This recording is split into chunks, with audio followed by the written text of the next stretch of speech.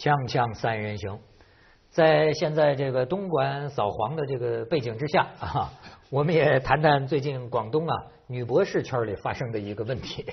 这个这个关系逻辑关系怎么来的？没有关系，要不然这女博士就就要去对我抗议了。都是发生在广东的事，都对，都是发生在广东，而且都跟女性有关系，对吗？不 不，当然，哎，怎么说呢？人人平等啊，人人平，一样，人没什么人人平等没什么不一样的，对。啥？这什么话呢？不是，就是没什么不一样。从本质上讲，都是女性。你谈女性问题，对不对？对呃，严格说，女性跟男性也没什么不一样，尤其今天的社会。但在古代是是有是不一样的，因为有标准的，叫郎才女貌，这有标准。男人是要有才，女人是要有貌。女人有才就有问题。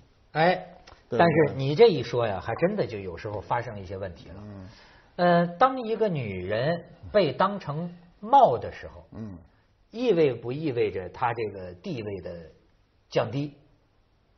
就是他的这个这个，嗯，就是说他比较低。那不会，因为今天这个在社会地位上，这个女的比较占便宜，都是因为貌占的便宜，所以大家不会这么认为，对不对？有很多人是靠脸挣钱的呢。呵，你是我是说什么事儿呢？呃，最近近五十名女博士、女博导和女性话题关注者啊，呃，聚集在这个广东呃广州一个大学的一个一个一个房子里，开了这个声讨声讨会，要求谁啊？广东政协委员罗碧良教授嗯道歉。嗯，因为罗教授呢，罗教授是个男的了啊。罗教授在今年啊，省政协委员罗碧良在今年省政协会议上有一番言论，断章取义的叫做“女孩子是个产品，卖了二十几年还没有把自己卖出去”。从恋爱的角度讲，读博士不是增值，而是贬值。好，这几天这个罗博士不是不是不是就不是罗博士了，罗碧良，他是说，他说我怎么会歧视女性呢？我的这些女博士都是研究生，对吧？我是为他们的择偶问题着急，我那个媒体啊断章取义云云，反正这些女性研女性话题关注者吧，就不干了。就不干了，就说你要道歉，你这就是把女博士当成了物，把女人物化，就是我刚才说的他，他说的不严谨，他应该重新说一遍。就是说，他首先要这样说，就是说，男人是个商品，很快的把自个儿甭管好赖全卖出去了，然后你再说下面这番话，他就比较平等。如果你冷不丁的说这么一句话，他听着是有点别扭。因为冷不丁这样的话呢，就和男人就变成买主。呃对女人是个产品，对对女人把自己卖出去，男人是买的一方，嗯那这个就听着不好听。对啊其实男人同时他是互为买卖关系，就是互为的。就是如果说这是一个买卖关系，当然我们今天从社会学角度老不承认它是个买卖关系，不是说男人和女人或者是女人对男人是一样的。你婚姻关系本身是一个契约关系，契约关系从某种意义上讲就是个商品关系。这个我不认为它有什么大的原则性的错误，只是表述上有问题。表述上，尤其咱冷不丁的前后都没听，就听这一段，那肯定是这么个问题。不是这个，实际上关联出一个什么呢？嗯，就说女博士们的这个积怨，他们认为这个社会对他们的负评价呀，嗯可以说是积怨已久。听说过那个说世界上有三种人：男人、女人、女博士，对吧？他们会认为，你像这次一个女博导就说了。我在你们那儿啊，学会一个词儿叫政治正确，西方人讲的啊。我发现政治正确的话有个特点，听起来啊完全没没毛病，这个理直气壮。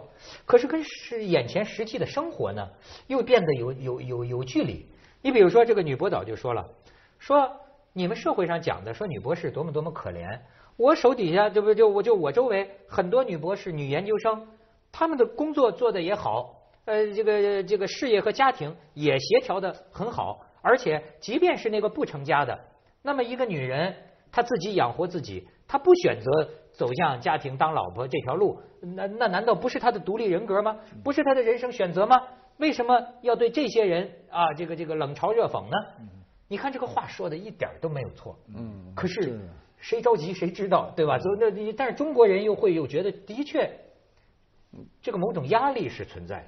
这这个是因为我们传统文化中呢，就有有一句话叫“女子无才便是德”，这个话可不是说了很短的时间，说了上千年了。那为什么呢？是因为过去的社会就在那个生产力低下的时候，男人肯定是为主的。今天社会是向女性迅速倾斜的，能看得很清楚。比如，我们就说近十几年以来各国女性的领导人急剧增加，这在过去是不可想象的。过去你怎么能想象韩国那样的国家能让一个女性就成为总统？你显门都没有。没错那今天她就是总统，对吧？你像德国呀，这个美国呀，这很多国家的这种高等级的，你包括美美美美联储的，好像新主席是个女性，对不对？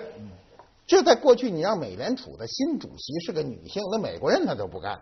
那今天这种倾斜呢，证明女性地位的提高，那么这女博士的问题就出来了，它就它是提高中的一个代价，因为它提高了，就换句话说，跟与之相配的东西得有提高，那相配的东西没有啊。哎，对不对你知道最近这个有一个网站婚恋的嗯网站闹了个事儿，出来了一个广告，结果这个广告啊就犯了众怒。嗯这广告大概这意思是说呀，好像是一个女孩的婆婆、外婆吧，怎么着盼着这个女孩啊催她结婚催她结婚。然后下一个镜头呢，就变成这外婆反正是身患绝症，在床上打着点滴了。然后这女孩泪流满面，拉着这个未未未婚夫吧，说婆婆我们结婚了，怎么着？然后引起了众怒，就说你这是在引导什么？以至于你知道，真的有些人因为这个广告啊，就春节没敢回家，因为呢，这个跟父母亲在他在在电视上播，这个父母亲老老一辈儿的，一看了这个广告，就跟他说：“你看看，你看看，我们老人家就是希望抱孙子啊，就是希望结婚呐、所以有有些人说说你这个网站，你搞的这是什么价值观？是吗？这套老棺材瓤子的这个价值观，我们受的这个逼婚的压力难道还不够吗？你们还要在这儿忽悠忽悠忽悠这些？但是他们对家庭的理解呢是比较比较传统啊，就是过就是一夫一妻的这种简单的理解。我想在未来的这个家庭构成中呢，单亲家庭会越来越多。我们说的单亲家庭不是那个离婚以后的单亲，就是我生就要单亲。现在美国很多嘛，就是我领一个孩子，甚至女性我自己生一个孩子。对借种，他有的都不是借，他跟谁借啊？他跟谁好，他就跟谁生一个。但是呢，我不跟你结婚，从一开始就说的很清楚，我独立生存。这种单亲家庭，在未来的社会中呢，这个数据我们现在不做统计，我也不研究，我也不知道，但是肯定是在增加的，而且增加速度超乎我们一般人的想象。我们是比较传统的，是要一夫一妻的，但是未来的社会未必是这样。所以今天呢，这种高学历的人呢，将来的家庭就是他可能构成一种新型的家庭关系。这种家庭关系是我们社会今天要探讨的，而不是女博士结不结婚是他自个儿的事儿，你知道吗？我觉得这个政协那个是什么政协委员，嗯这讲的话是不对。我这个这个在另外一某些国家的话，它不单是个道歉的问题，那怎么办？他连这个位置都成问题了。你要是你要是一个，比方说你现在是一个哈佛、耶鲁的校长，嗯，讲这样的话，或者是美国的一个议员讲这样的话，也挺惨的了，啊，你就得罪，你受很大的社会压力了。他他第一个是他那个基本的价值观，他只说女性是一个产品，他还没说商品。但他产品的问题不大，你可以说男的也是产品，爸爸妈妈的产品嘛。但是的问题是说多少年要把自己卖出去。这句话的隐含里边就是把女性的人生的价值，婚姻变成了衡量女性人生价值的一个主要指标，而且把这个指标是卖出去这么一个这个话的表达。词儿词儿错了，说把自个儿嫁出去，什么事儿都没有，对不对？词儿给用错了。其实其实这个话的，我也觉得就是，我至少我听上去不舒服。就很多女的经常会用，说啊，我今年要把自己嫁出去啊，对或者什么嗯对这好像女的都会把这个这个婚姻这件事情变成她人生的一个归宿，就好像她好像她嫁，你说男的。男的没这个概念吧？男的要是想到我我我今年要结婚了，你就会想到你结婚以后还有很多事情要做，你的担子更重了，你的人生的道路就就变得更加啊。可是女的有一个前提，就是说我只找到一个好的男人，我把自己嫁出去，然后就进入这事儿就了了哎，然后就进入另另外一个境界了。我觉得这些真是我说不出来在哪里有问题，这个他我觉得这个女博士主要的问题出在哪儿呢？出在她这个一个人的学问啊，是这样啊。咱咱咱咱咱，我现在说话得小心，我千万别变成那个。你得罪他们可不行 不是得罪他们。不，你他而且是在政协开会上啊，又不是私下饭桌上说这样。那我们这现在也是做节目，所以说话要小小心啊。就是她女女博士啊，这博士我们的概念是有相当的学识的积累，对不对？对，呃，当你学到过度的学问的时候，这学问有时候是过度的。我们学问中不用的部分都属于过度的，那么你就会变得呢，就是理性的东西多于感性的。男人呢，呃，男人一般来说就是至少这个两三千年形成的家庭观念都是港湾，就是我娶的这个主妇嘛，家里得有主妇，而不是主夫。不是我回来给你做饭，是我回来应该是饭做好的。这个观念非常的古老而陈旧，我得先把我自个儿说死，要不然一会儿一会儿有人说你这多陈旧啊！我先自个儿说，就很陈旧的一个观念。但这个观念呢，根深蒂固，影响着，至少影响到这个政协委员了。所以他说话时候就会一不注意就给说错了。就是其实我觉得他本意不是那样，他可能本意更为你好。就是你的选择，你的选择就变成了你必须要降格选择。降格选择是什么？我这个没有问题，但是你要说你要降价选择就很难听，对不对？对。它是降格，降格是什么？就你不要再设想，就是你的那个那个未来的那一半有多高的地位和学识，因为你的学识太高。我就觉得这个女的有时候也是真让我觉得很难明白。嗯。你比如说，所有的漂亮的女的哈，她都会很关心的要分辨你这个男的是不是找我就看外貌，你看，哎，他觉得你是不是靠？哎。我有时候觉得女的聊这个有什么意思？她当然是看外貌。你 你长得要不好看，她根本不会对你有兴趣。老说这个就很没劲。但是呢，她恰恰她女的不希望这样啊，她不希望你只是喜欢他外貌。那因为因为外貌会变的。对，什么都会变。女女的最担心就是你今天我花开的时候你喜欢，明天我那样你就不喜欢。不是，关键是还是个安全感，不是缺乏安全感才这么说。我我认为。女的有点有点这这这这，我也不敢说，这基本上。锵锵三人行，广告之后见。这个女的，过去有一个偏见啊，说这这女的会不会她要见多识广了，见的世界上这个呃男人呐的的素质或者各方面的风光见得多的，他是不是很难看上一个比他对对才学上水准上这个这个才是问题。对吧？所以他们讲的这个学历跟婚姻的状况哈，关键的问题在什么呢？关键在于是女的呢，习惯于这个才是传统，就习惯于从自己的眼睛往上看。对，就是说我要是博士了，那博士以下的我就不考虑了，那我非得博士后或者是教授或者是院士或者是。上市集团主席或者是政协委员，不不不不，这院士得多大岁数？对对对，院士没年轻的。那那那 那那那可能有总之，是是是，还有诺贝尔奖得主等等，啪，眼睛往上。关键是不争气的女的，讲起来一句最不争气的就是讲男的，这男的的眼睛呢是平视了往下面去的。哎，他自己不管什么年龄，他下面二十来岁的他他对。男的还有一个救火能力非常强，就是什么意思呢？就是说我忽然看这女孩很很漂亮，是吧？我就这一点，我放弃一切要求，对，他就救火这事儿了。这女的不成，女的她她得各个条件得都基本吻合，这事儿比较麻烦。啊，男人的这个还有的男人，他就我认识的人里啊，就是朋友里真有这样的人，就不喜欢太有文化的女性，觉得女性她虽然很有文化很有地位，但是她不太喜欢这种，她觉得。回家再弄一个人跟他掰扯去，他就受不了。我就这样，你觉得 是吧？这个简单很好。对对对，我就觉得你比如说这个红颜知己，嗯非常好哈，咱棋逢对手，将遇良才，嗯对吧？可是聊聊就行了。对对对，因为我觉得我每天吃饭的时候跟你讲海德格尔，你受不了，是吧？不能从早到晚都那么聪明，知道吗？还有一个就是，呃，男性最害怕的是女性过于敏感，就是她什么都特敏感，弄得你就不舒服，因为。你比如说哪句话没说对付，或者是你在外头有点什么事儿哈，其实也没多大的事儿，但是回来还没怎么着呢，被人给一下给给给揭露了，你就觉得很不舒服，所以他还是希望一些比较迟钝的。呃，过为什么？不是这迟钝，不是不聪明。他有人很聪明，但是在某种问题上很迟钝。大智若愚啊！对，他就很多人很。广东话叫板傻，我们的学生都知道，也不是真傻，不是真傻，但是要装傻。很多女的都是这样的啦。是我我我生活中啊碰到的人哈，女性凡是活得好的，大部分都这类的，就是大大咧咧。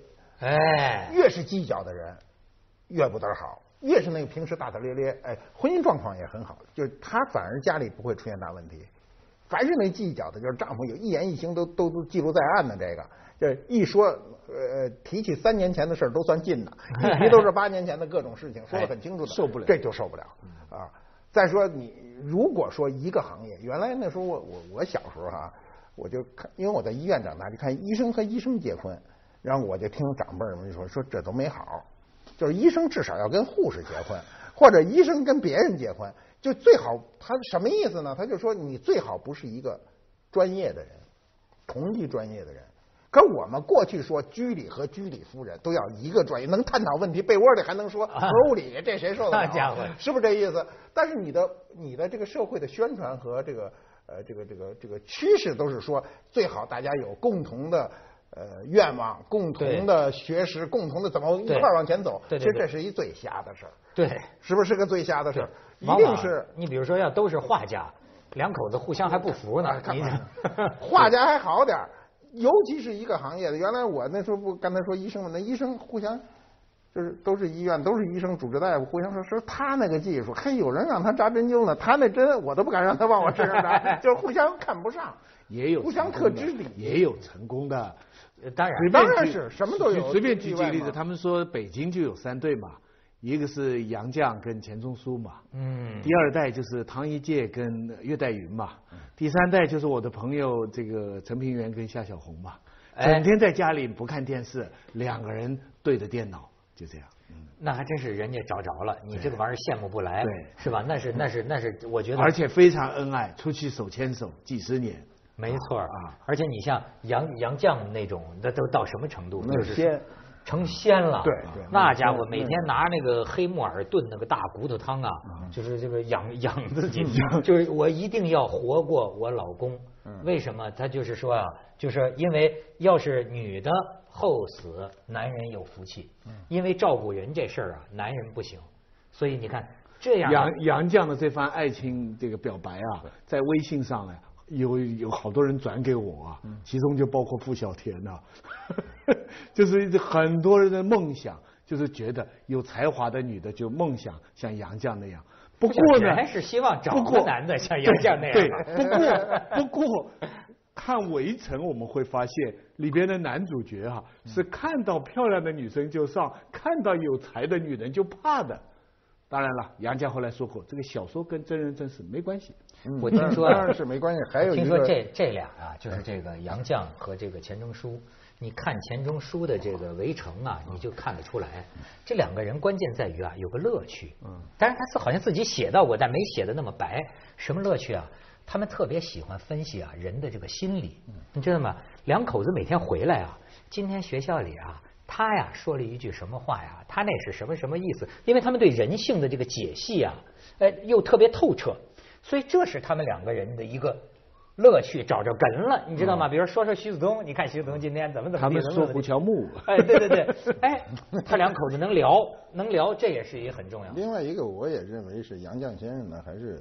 比较迟钝的，就是在这个事儿上，在某些事一定的事情宽容的啊，宽容就是看见跟没看见一样，或者说呃，就是他从内心不想看见。